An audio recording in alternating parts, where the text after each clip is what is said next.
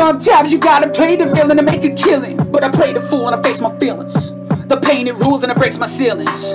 Walls, windows, and floors, and this is all from a complacent feeling. I'm a crazy tool of Mother Nature, really. On a case to case basis, it probably couldn't make it through all the hatred in me. Nah, I'm playing dude, cause nothing could break me, really. Except myself, yeah.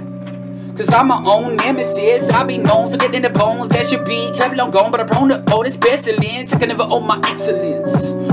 I get it, I just own the premises. So I'm usually all alone, all on my zone, just me and my soul regret shit. Transgression from the past that put some lessons in this man.